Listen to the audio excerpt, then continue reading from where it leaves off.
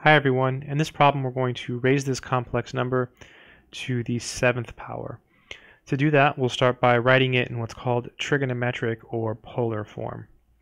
So a number is in trigonometric or polar form if it has the form r parentheses cosine theta plus i sine theta. Here r is called the modulus and theta is called the argument. So the way I like to do it is I just set this equal to the complex number, so negative 1 plus i.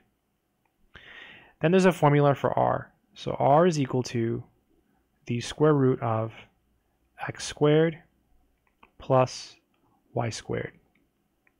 In this problem, x is negative 1, so it'll be negative 1 squared. And the y is a 1. There's a 1 in front of the uh, i. That's our y. So plus 1 squared. So every, every complex number can be written as x plus yi. So using matching, you see x is negative 1 and y is 1. This is equal to 1 plus 1, which is equal to the square root of 2. Then what I like to do is just plug it back in. So we have negative 1 plus i is equal to the square root of 2 parentheses cosine theta plus i sine theta. So we have found the modulus r. We just have to find uh, the argument. So the way I like to do it is I like to do it from like a constructive approach. So like I distribute the square root of 2. Some people use like the tangent function and stuff like that. I, I like to do it from scratch. It's just it just seems more natural than memorizing a formula. And I'll write this down over here. Okay, good stuff. So now we use the fact, uh, what, what does it mean for two complex numbers to be equal? Well, two complex numbers are equal when the real parts are equal. So this is called the real part. So negative 1 is equal to the square root of 2 times cosine theta. And the imaginary parts are equal. So there's a 1 here. So 1 is equal to square root of 2 sine theta. Then we can solve for each of our trig functions. So here we'll get cosine theta.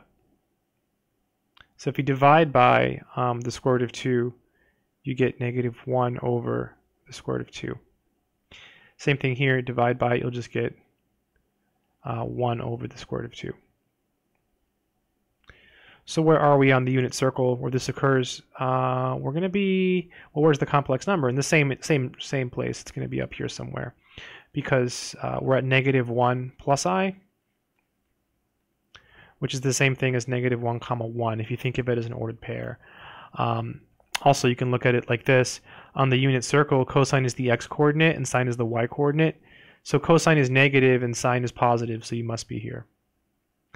I know that the sine of pi over 4 is equal to this. So we're looking for an angle that has a reference angle of pi over 4 that is in this quadrant. So we're looking for this angle here. This is our theta.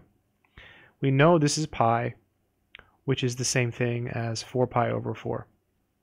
So the angle that has a reference angle of pi over 4, that is in quadrant 2. So if this is pi over 4, what's left? Well, 4 pi over 4 minus pi over 4 is 3 pi over 4. So that's going to be our angle. Again, when you see this, you say, hey, what's an angle that gives me this? Well, the sine of pi over 4 is this, square root of 2 over 2. This has been rationalized. This is the same thing as this, by the way. You can multiply this by this, and you'll get this. So you memorize this one, and you say, okay, I'm looking for an angle in quadrant 2 that has a reference angle of pi over 4. So you draw your picture. You say, this is 4 pi over 4. Here's my reference angle. If you subtract them, you get this blue angle here, which is 3 pi over 4. All right, so now let's go ahead and write our complex number down. So negative 1 plus i is equal to the square root of 2, parentheses, and we said our angle was 3 pi over 4, so this is the cosine of 3 pi over 4 plus i sine of 3 pi over 4. And this is being raised. All of this is, oh, not yet. but that's that's our, our, our, um, our complex number. Now it's being raised to the seventh power, so let's do that. So I'm going to put, use a different color here. Let's go with yellow. I'm going to raise this to the seventh power. So yes, it's being raised to the um, seventh power, like this. Okay, raising it to the seventh power. And let's see what happens here. So this is equal to, so using something called de Moivre's theorem, you raise this to the seventh power. And then you multiply each of these angles by 7. This is called de Moivre's theorem. This is the trick. So cosine of 7 times 3 pi over 4 plus i sine 7 times 3 pi over 4. Okay? So this is equal to the square root of 2 to the 7th. Let me just, let me just rewrite that a little bit nicer. So the square root of 2 to the 7th, parentheses, cosine of, so we're looking at uh, a really big number here, 21 pi over 4 plus and then i sine of 21 pi over 4. Okay, so now we need to work out these this 21 pi over 4. So I'm thinking, let's draw a little picture and see if we can figure it out. So here's the unit circle. So this is 0, but it's also 2 pi. So as a number over 4, that would be uh, 8 pi over 4. We're still pretty far from 21 pi, right? Okay, so it's also 4 pi. So as a number over 4, that would be 16 pi over 4. Still not quite there. It's also um, 6 pi. So as a number over 4, right, 6 pi would be 24 pi over 4. Okay, so we've gone too far. So we can think of this angle here, right here, as 24 pi over 4. We want 21 pi over 4. So if you subtract pi over 4, that's going to put us here. It's going to be 23 pi over 4. Subtract it again. That'll put you here.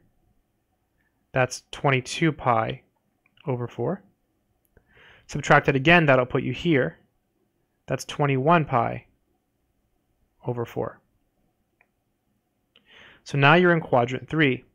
So um, everything, they're both negative, right? The x and the y. And the reference angle here is pi over 4. So on the unit circle, this ordered pair is going to be negative root 2 over 2, negative root 2 over 2. So the cosine of both of these guys, cosine of 21 pi over 4, sine of 21 pi over 4, um, in both cases is going to be this. This will be the square, square root of 2 to the 7th, parentheses, negative root 2 over 2 minus i root 2 over 2. When you distribute here, what happens is you get, you multiply the exponents, you add them rather. So there's a 1 here, so you get negative square root of 2 to the 8th over 2 minus i square root of 2 to the 8th over 2. Because this times this means you add the numbers, okay? So you do 7 plus 1, which is 8. So how do you deal with this, square root of 2 to the 8th? Well, um, a couple ways. Let's, let's do it on the side over here. Let's see. So you have the square root of 2 to the uh, 8th power. Easy way to do it is think of it as 2 to the 1 half to the 8th power. 8 times 1 half is 4. So you get 2 to the 4th, which is 16. So this is equal to negative 16 over 2 minus i times 16 over 2. So you get negative 8 minus 8i. And that would be the final answer. I hope this video has been helpful. Good luck.